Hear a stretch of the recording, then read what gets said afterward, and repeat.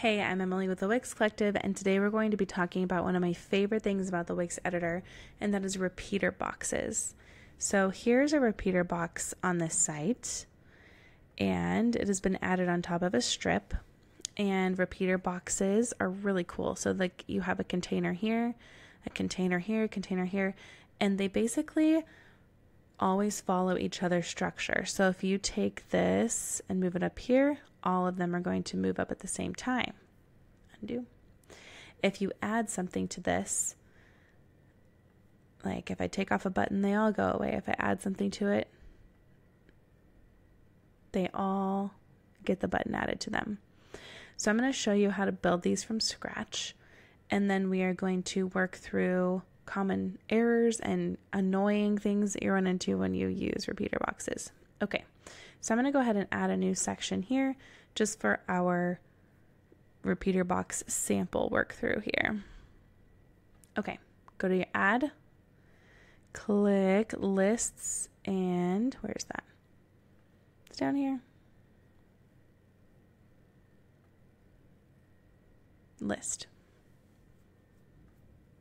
Okay, repeaters.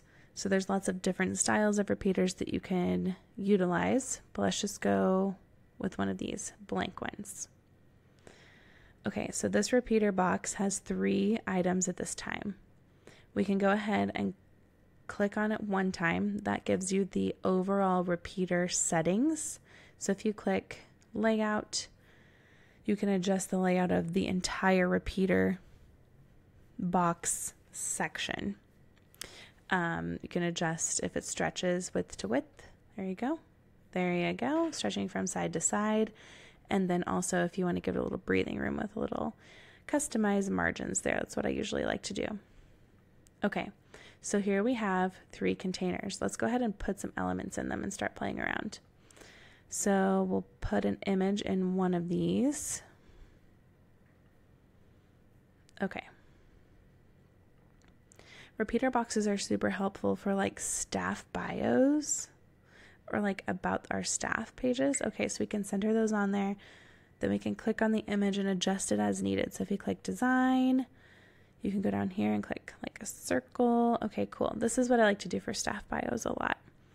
Okay, let's add some text elements. So if we grab a heading,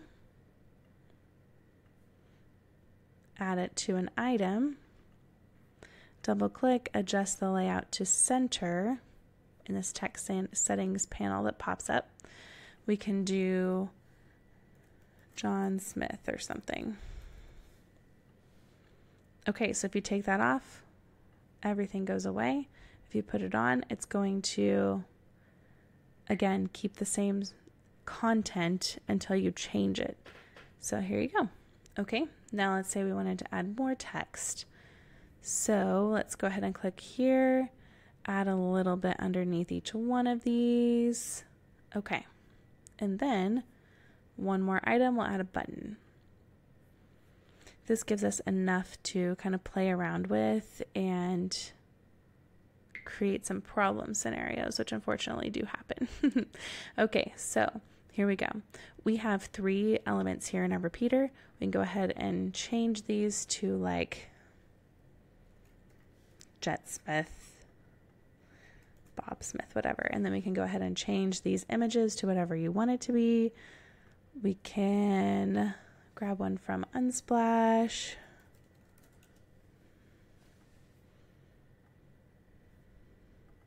Adjust the photos as needed. Zoom in. So you can do that. But if you try to make this larger, it's going to make all of them larger. So just make sure that you're aware of that. Okay, so from here, if we wanted to add another person to this list, we click on the repeater so that the repeater is selected and we click manage items.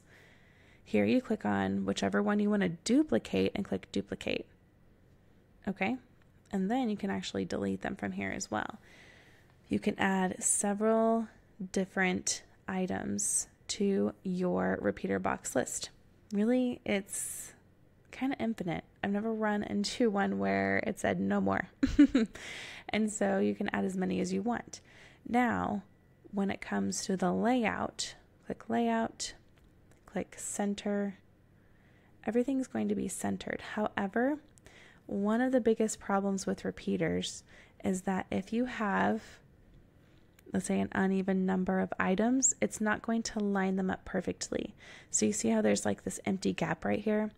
That's just going to happen if you have an uneven number of items in your repeater box. That's one issue. If anyone has a solution for that, please, I would love to know. So if you go to layout, can't really do anything. You can adjust the spacing. See, but you're always going to have like like an orphan down here just hanging out. Or you're going to have a wonky space here. So you'll just have to decide if it works for your layout or not. Okay, another thing that you're going to run into is let's say that this person has a bit of a longer bio than the others do. Do you see the problem? We have now bumped this button down on this one, so now they're not lined up correctly. Now let's say that happens on several of them. So now look, the bumps this one down. Let's say that this one has quite a long bio as well, and you can see where it's going to start looking a little bit uneven and not desirable. So, a, a way around this is to use columns, which we can get into in another video. But if you want to use repeater boxes, because there is, I mean, they, they are nice to use. What I have found, um, you can adjust the size of this container box if you want, and then you can adjust this button.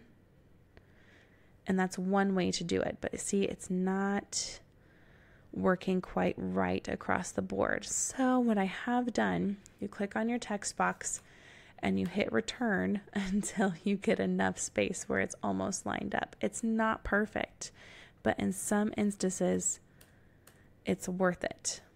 And it can create the consistency you need in your layout. Again, it's not perfect, but it is a quick hack that can sometimes work just fine for you. So, again, not always the perfect fix, but a lot of times it can definitely help when you have some wonky layout issues going on. But look, you will get some that are not quite perfectly lined up, but it might work for you. So, again, that's repeater boxes. Um, sometimes they're a little funky, but that's just what you got to do. Um, let's see, what else can I tell you about repeater boxes? I think that's mostly it. There there is sometimes um, you might run into a problem where you have copied text from somewhere and you paste it in here, and the formatting is a little weird. So if I would go to like a text document and then paste in my info, so if I go here, maybe even it's probably formatted just fine. But if I pop in some text that's pasted, the formatting might be weird, and I've had it to where some of these will be left justified, some will be center justified, and it doesn't matter what I do, I can't get it to match up. In that case, you're going to need to, unfortunately, pull off your text and start over or find the box that's wonky, delete everything, and just type it in manually. Do not copy and paste from another document or another page. Um, let's see, what else can I tell you? I'm trying to think of all the weird things that I've run into. Um, yeah, repeaters are great. Sometimes they're very aggravating, but in the end, a very useful tool. One more thing you cannot add grouped items to a repeater box. So let's say that I had these, and these items I made into a group. I group them, I click copy, I come down here and I click paste, I can't add these to a repeater box. It just won't work. So that is everything that you should need to know about repeater boxes. If you have any questions, please feel free to leave them in the comments below. I would love to hear from you.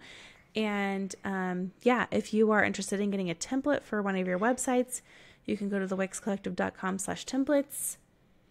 Yeah, follow along for more Wix Basics videos. I'll see you in the next one.